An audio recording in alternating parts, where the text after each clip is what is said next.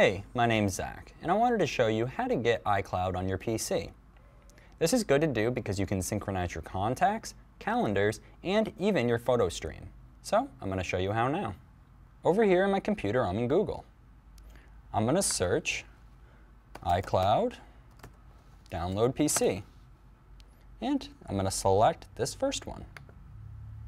Now if you scroll down, all you have to do is select for Windows PC. And it says, first you must download it. So we're going to hit download now. It's going to bring you to this support topic here, and we're going to hit download. Now while that's downloading, I'm going to show you another option. We're going to go to www.icloud.com.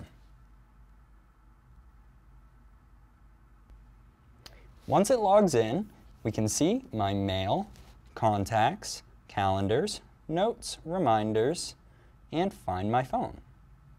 So if you were to have lost your phone and you have Find My Phone turned on in your iPhone, you could actually go in here and have it play a noise even if it's on silent.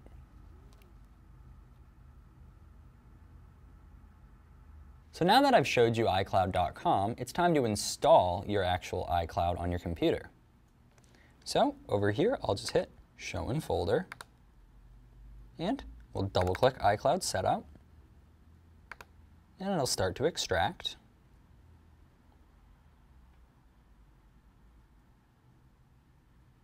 And you'll get this little dialog here. We'll hit Next, Agree, and hit Next again. And you can choose where you want to install it, and I'm just going to hit Install. And it begins to install.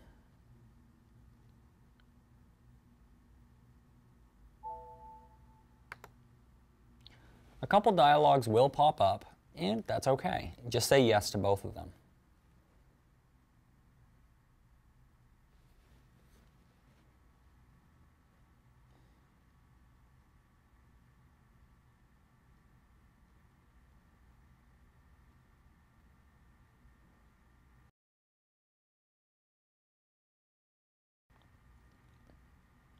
Now that it's finished, all you have to do is hit finish.